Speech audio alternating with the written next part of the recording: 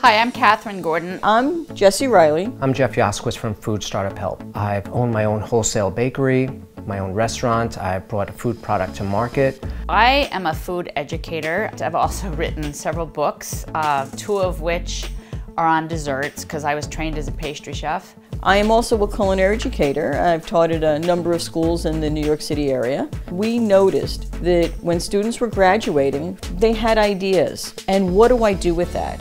We work with food industry professionals, new entrepreneurs.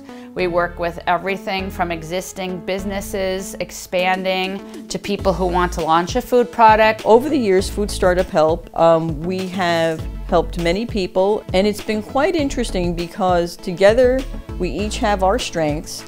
We have an educational video series that people can subscribe to and we also have a book coming out on how to successfully launch a food product to try to help entrepreneurs all the way.